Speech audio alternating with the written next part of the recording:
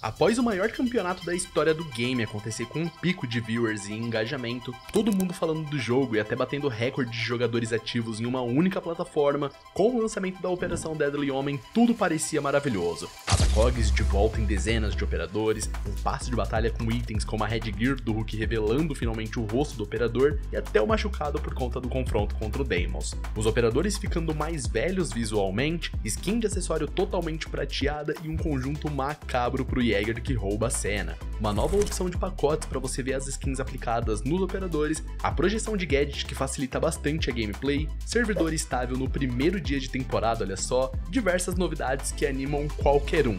Até que a casa caiu.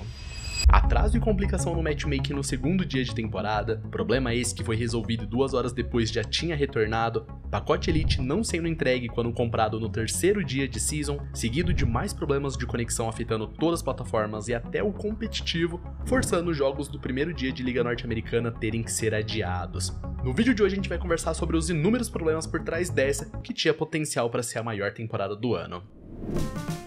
E não é que após todo aquele campeonato e superprodução do Six Invitational a Ubisoft conseguiu levantar o Seed, após ter investido tudo que podia e não podia na divulgação do jogo, o Seed desde terça-feira no lançamento da Deadly Homem tá com um número super alto de jogadores ativos, batendo até um pico de 170 mil jogadores em 24 horas. E isso são números apenas da Steam, sem contar de outros launchers do PC e até do console que é onde fica a maior parte da comunidade. Além do mais, os servidores não ficaram instáveis no primeiro dia de temporada, diferente do que vinha acontecendo no lançamento das últimas, o que, três temporadas do jogo. Então, feito bem impressionante para o início de temporada por parte da Ubisoft, até que tudo começou a voltar ao normal.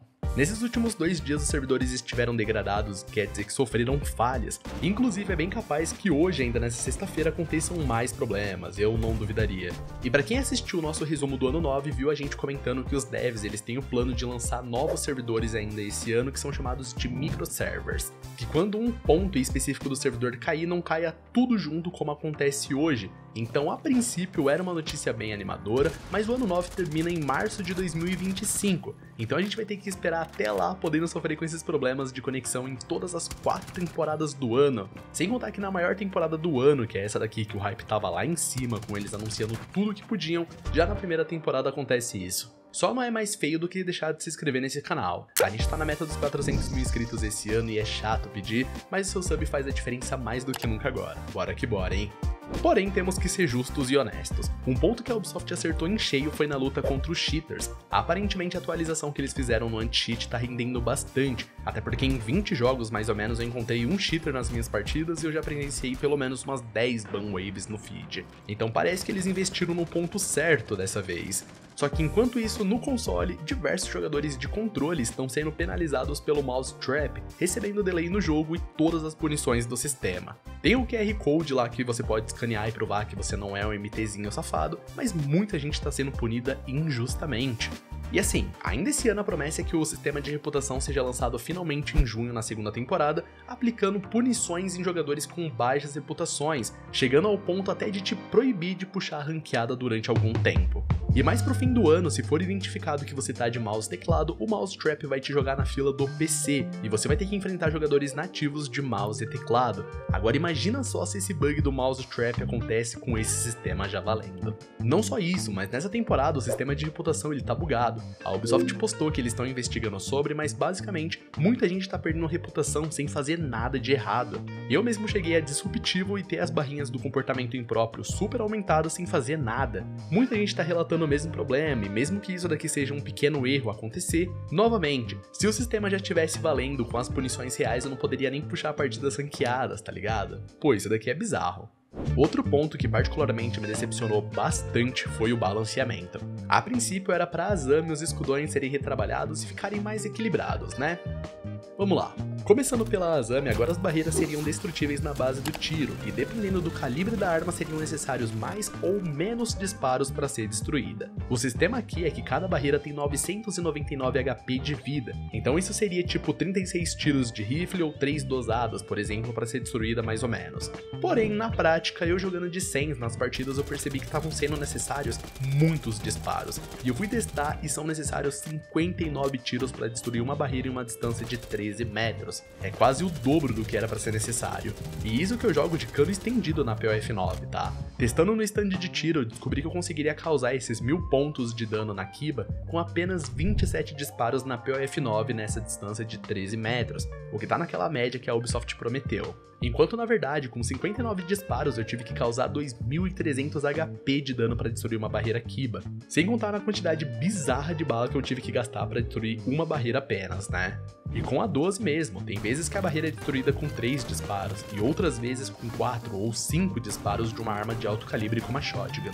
Ou seja, acabou que a Azami foi nerfada, mas vai funcionar o sistema quando o jogo bem quiser entender, tá ligado?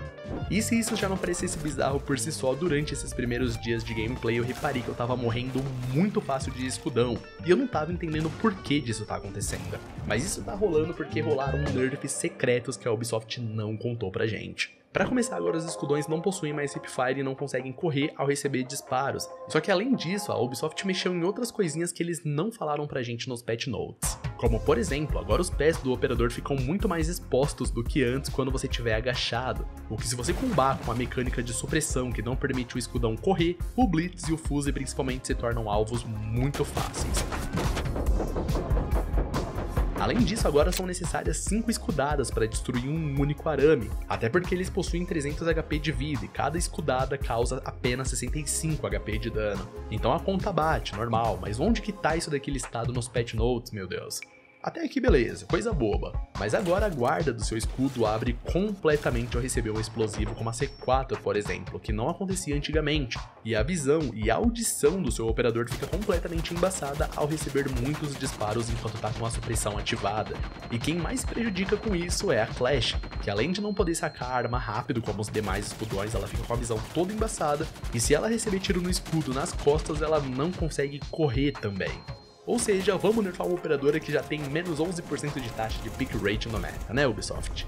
Eu entendo que precisam existir nerfs e counters para esses operadores não ficarem muito quebrados, mas com essa quantidade imensa de contras chega a ser complicado acreditar que o rework serviu como buff ao invés de um grande nerf.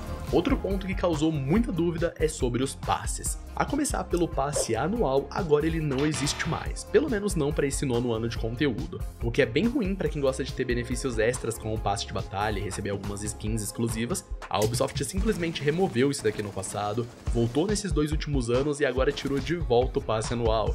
Inclusive, olha só, agora os novos operadores eles estão com 28 dias de acesso antecipado para os donos de passe de batalha. Antigamente eram apenas duas semanas até serem desbloqueados com credibilidade, e agora são quatro semanas até serem liberados para geral. A gente não sabe se isso daqui é um bug ou não, mas 28 dias de acesso antecipado é um pouquinho demais, eu achei, hein? E por fim, o último tópico é sobre a customização das flashbangs que havia sido prometida. Nos patch notes estava lá que a gente poderia customizar o efeito visual e sonoro das flashbangs nessa temporada, e nada a respeito disso chegou dentro do jogo. Isso porque, de acordo com a Ubisoft, essa mudança ela foi adicionada de forma errônea, não era para ter sido adicionada nos patch notes dessa temporada, e que isso vai chegar numa data posterior ao jogo, o que eu acredito que vai chegar só em junho na segunda temporada mesmo. Porém, essa daqui vai ser uma opção muito importante para os epiléticos de plantão, que se for funcionar como funciona no COD, por exemplo, a gente vai ter a opção de inverter a cor da flashbang para a tela ficar escura ao invés daquele borrão branco que atordoou o operador e o jogador na vida real. Isso, claro, deve interferir no balanceamento indiretamente de alguma forma, então eles devem estar ajustando essa mecânica por enquanto. Mas a princípio não deve chegar na operação Deadly Homem. E como vocês viram, muitos problemas estão acontecendo nessa operação nova e isso daqui é muito triste. Grande parte desses problemas eu acho que os devs conseguem resolver com atualizações menores nessas próximas semanas, mas um lançamento dessa forma é bem desanimador, né? Vamos ver se a situação melhora nessas próximas semanas e se a gente consegue dar a volta por cima. Por enquanto já vai comentando aí abaixo como que tá sendo a sua experiência com essa nova temporada, se você tá enfrentando muitos cheaters ou se você tá pegando muitos bugs também. Comenta aí abaixo e bora trocar uma ideia sobre. Por enquanto eu vou ficando por aqui, mas muito obrigado pela sua companhia durante esse vídeo. Eu espero poder contar com você por aqui no meu próximo vídeo e... Até mais galera, fiquem com Deus.